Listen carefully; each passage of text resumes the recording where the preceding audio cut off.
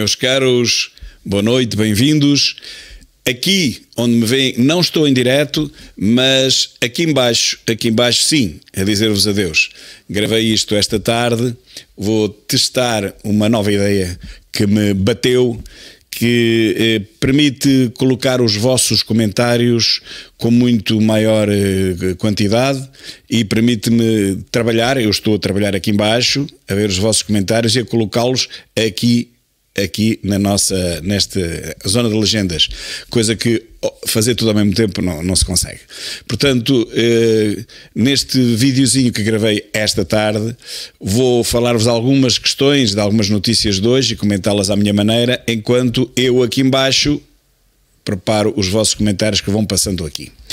E depois falaremos, eu aqui embaixo falarei convosco eh, eh, ao vivo, já depois desta introdução.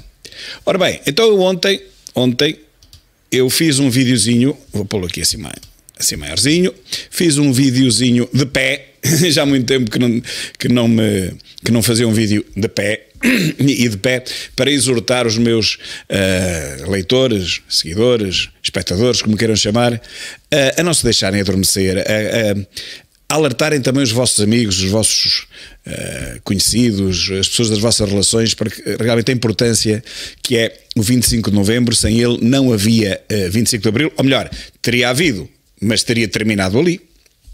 E, portanto, foi um grande hino à, à liberdade, foi uma grande jornada democrática, esta sim, tão importante como o 25 de abril, ou mais, porque senão, esta hora éramos todos soviéticos e sei lá, e, e, nem vou continuar porque não vale a pena perder tempo com isso. Ainda bem que não, que não somos, e isso graças ao 25 de novembro que está aqui atrás. No vídeo pouco falo disso, é verdade, mas falo na necessidade de eh, acordarmos desta letargia em que já estamos mergulhados há tempo demais desde o 25 de Abril, já estamos há, há 40 e tal anos mergulhados numa letargia. Eu bem sei que ao princípio as coisas, enfim, uh, foi aos solavancos que isto começou, realmente vinhamos de um, de um, tempo muito organizado, mas um tempo ditatorial, passámos para um tempo de balduncha completa, em que foi roubar à fartazana e até hoje, e cada vez mais.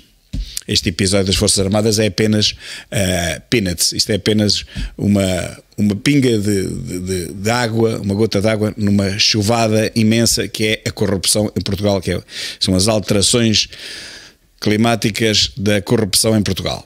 Bom, uh, então, Ontem ainda fiz este, este vídeo de improviso e depois uh, ainda consegui ver que uh, o jornal I não deixou passar em claro esta pouca vergonha desta pouca líder, vamos chamar pouca, pequena líder de um partido ainda mais pequeno que neste momento já nem deve existir sequer. Mas pronto, se tiver vergonha admite-se, mas também não se vai admitir nada porque aquilo não existe praticamente. O vulcão de La Palma é que existe, existe e continua a existir, já há 56 dias ou coisa do género, e já diz o Diário de Notícias, o Diário Soviético, que o vulcão de La Palma já terá emitido cerca de 250 mil toneladas de dióxido de enxofre, mas curiosamente não falam no dióxido de carbono, vá-se lá saber porquê. Eu aqui explico porquê. Portanto, as emissões de dióxido de carbono são, em regra, 40 a 50 vezes superiores às do dióxido de enxofre. Portanto, não podíamos falar nisto, senão era um escândalo. Já viram, andamos nós aqui à míngua a tentar diminuir as emissões do dióxido de carbono e depois vem um vulcão sozinho e faz um estrago brutal maior que toda a Europa. Não pode ser, então não falamos nisso. O vulcão faz o mesmo estrago, entre aspas, mas nós não podemos falar nisso. Vamos só falar do dióxido de enxofre. E então se falássemos no dióxido de carbono, como eu digo aqui, isso cairia muito mal na narrativa do efeito estufa. Por isso se omite o principal e só se fala, só se fala no que não vai contra o pensamento único. Falamos então no que não vai contra a descarbonização, porque só este vulcão carboniza, que é uma coisa doida, mas nisso, claro, não se fala. Há pouco, isto são, para terem uma noção, são 5 e 25 da tarde, há poucas horas, duas ou três, veio a notícia de um grupo de 10 que disparou contra uma escola em Louras, diz a CMTV. Há um ferido, um jovem de 16 anos, parece que o ferido uh, foi atingido no joelho e fazia parte do gangue que atacou a escola. houve arremesso de garrafas e outros objetos contra a escola. Agora parece que já sabe mais qualquer coisa, que foi um gangue rival porque queriam assistir a um, a um concerto de um, de um rapper ou de um DJ, uma coisa do género, e não se quiseram deixar entrar. A nota curiosa é que os bombeiros apareceram antes da polícia. Eu aqui mais à frente digo mais qualquer coisa sobre isso. Olhem, infelizmente, uma professora que morreu antes de receber o atestado médico, ela própria o disse. Temos que defender este SNS, este SNS que deixa morrer as pessoas em catadupa. Vamos sabendo de uma ou de outra, meus caros. São os casos mais chocantes ou mais notáveis. Mas por cada uma destas vítimas do SNS, há centenas de outras por dia, meus caros, por dia. Uns morrem, outros não morrem, mas, mas ficam mal. E é este o SNS que nós temos e que a esquerda quer defender. Não quer defender os portugueses, não os quer poupar à morte. Não, quer defender o SNS para que tudo continue igual. Ou pior. Portanto, esta professora, minha colega, morreu com cancro à espera de um atestado médico. Portugal. Cá temos a nossa mais ajeitada líder do mais inacreditável partido de Portugal, mesmo assim conseguiu quatro deputados e mais um europeu. Claro que esse europeu demitiu-se e claro que dos quatro uma também se demitiu, que hoje mesmo vem dizer mal da ex-patroa, patroa agora, porque na altura dela não era patroa.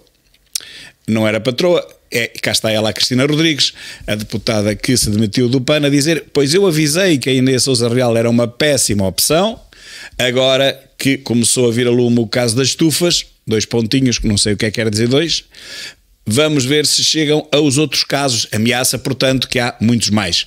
Pode ser o fim de uma era e a ambição mata. Ela lá saberá o que quer dizer, eu não sei, mas indica que haverá muitos mais, uh, muitos mais casos. Como eu digo, com madres zangadas, verdades à solta, mas só algumas, parece que há muitas outras.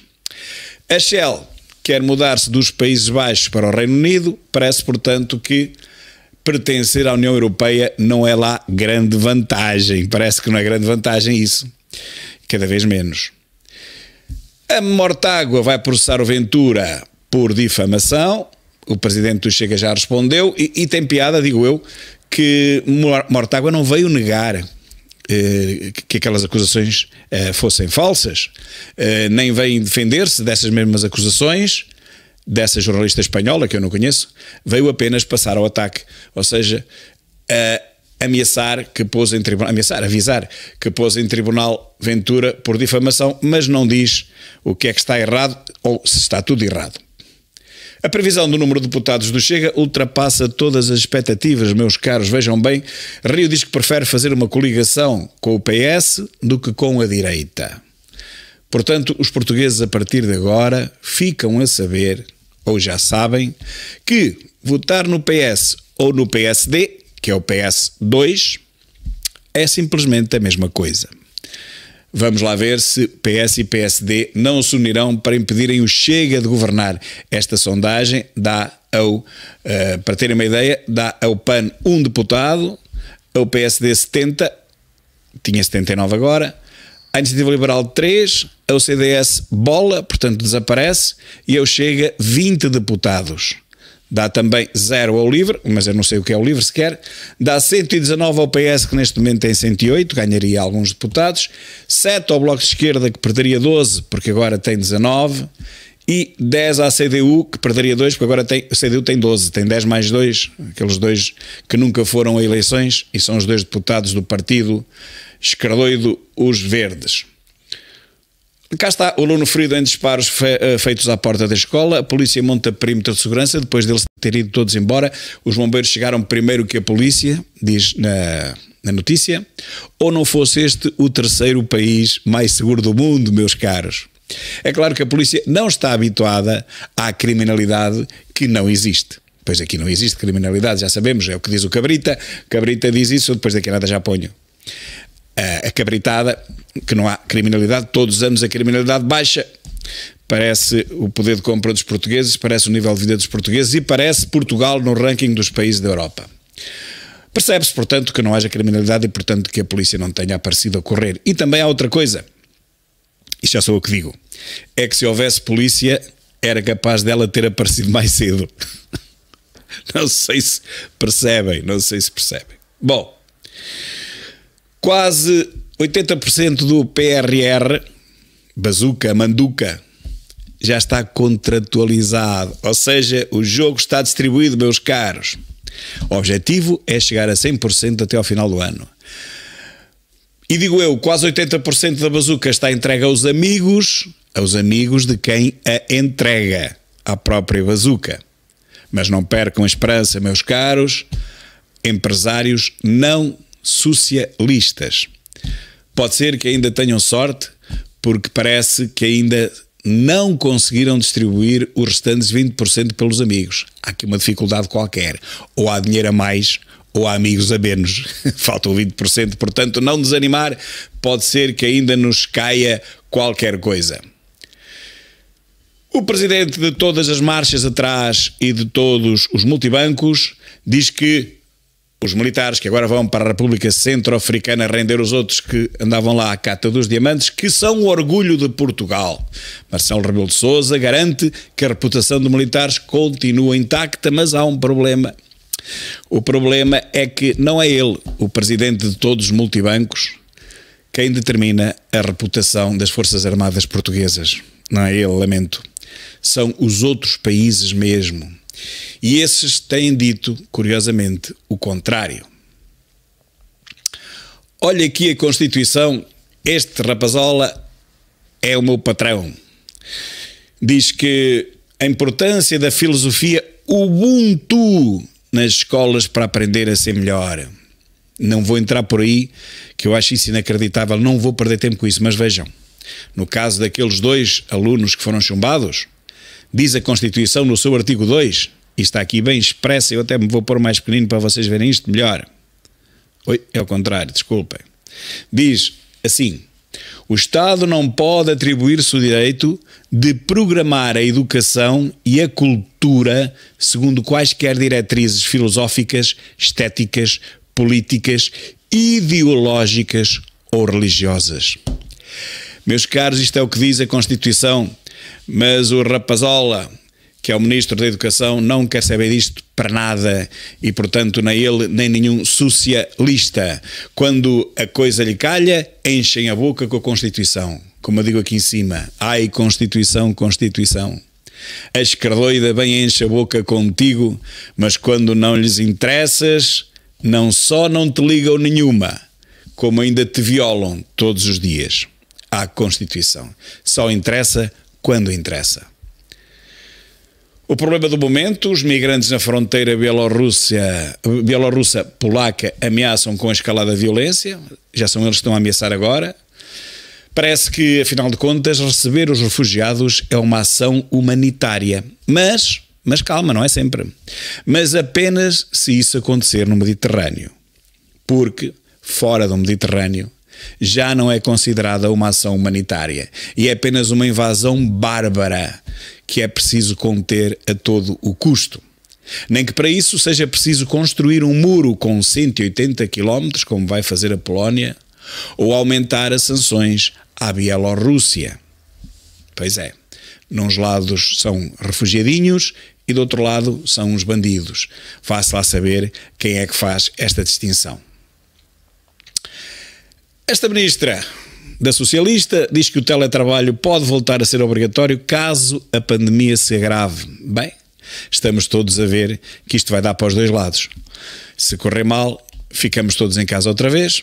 Se correr bem, não ficamos e o mérito é do Partido Socialista. É claro que se ficarmos em casa, o demérito não é do Partido Socialista, é a, a pandemia que anda em todos os países da Europa e, e, é bem verdade que noutros países está a haver medidas de uh, enclausuramento ou clausura mais fortes do que em Portugal. É verdade, é. Isso é verdade. Ainda têm mais medo do que nós. Mas também estão, num país mais, estão em países mais frios do que nós. Governo diz que os relatórios de Bruxelas elogiam combate à corrupção em Portugal. Eu não sei onde é que ele leu isto, mas ele diz que leu. Bom, o que eu digo é que os relatórios dizem o que nós lá escrevermos. Estes, estes então, nada têm a ver com a realidade portuguesa, se eles dizem isso. De uma coisa podemos ter a certeza absoluta. Se dizem que não há corrupção em Portugal, estes relatórios, é porque quem os escreveu é completamente corrupto.